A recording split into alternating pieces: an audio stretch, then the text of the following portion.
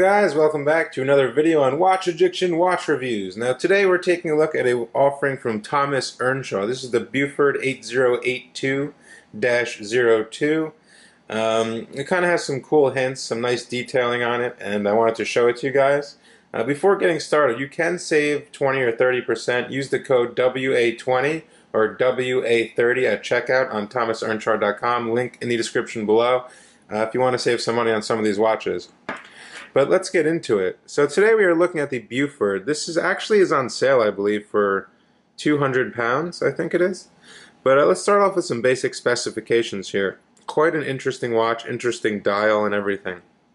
So we are looking at a 43 millimeter case diameter here. We are looking at a thickness of just under 15.5 millimeters.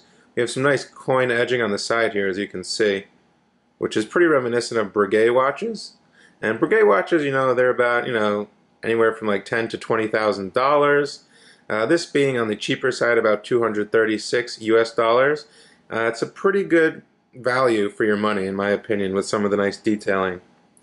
So we have this nice dial here with guillocheting on the dial, as you can see. And that is not hand guilloche, obviously, for the price point. It's probably done by a machine to make the dial.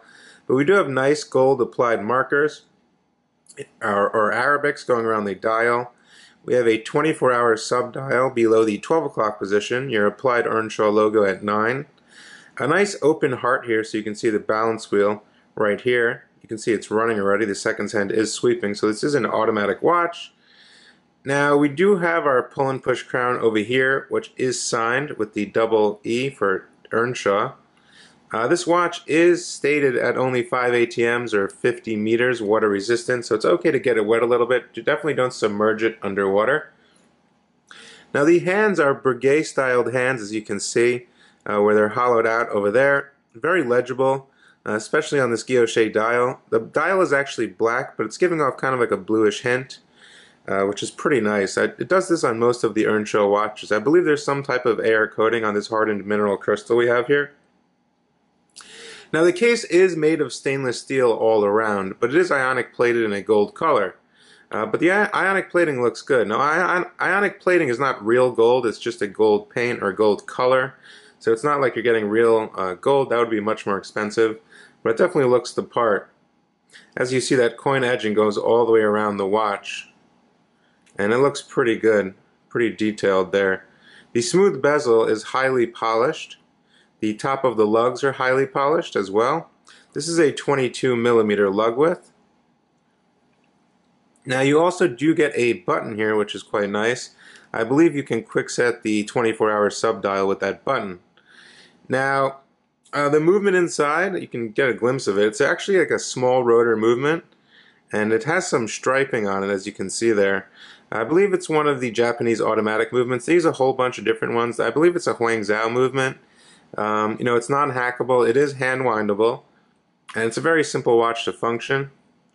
Self-winding. And then your first position is to change the time here. So fairly quite simple to function.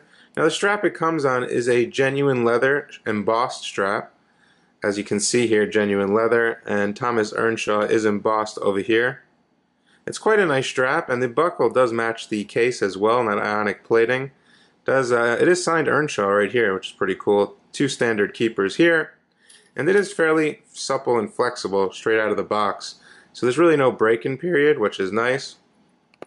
And yeah, it's a uh, it's fairly a simple watch. A lot of details on the dial with the guilloche, as you can see when the light hits it. It's very nice. Just definitely an all-around cool. It's a pretty well-made watch. And I do like they show you the movement through the exhibition case back. And Earnshaw is printed on the back of the crystal, which you can see through right now. I think it looks pretty cool. Anyway, I want to, there is no lume on this watch, just want to let you guys know. I want to throw it on my 6.5 inch wrist and give you my final conclusion. Here is the Beaufort on my 6.5 inch wrist. There's a side profile right there. As you can see, it fits quite nice. It is a bit thicker. The buckle is pretty cool as well. As you can see, the buckle says it, it, it looks like an E, which is pretty cool for Earnshaw. And there's the thickness. That's how it fits across my 6.5 inch wrist. We have these nice short lugs which come straight out and drop down right at the edge here.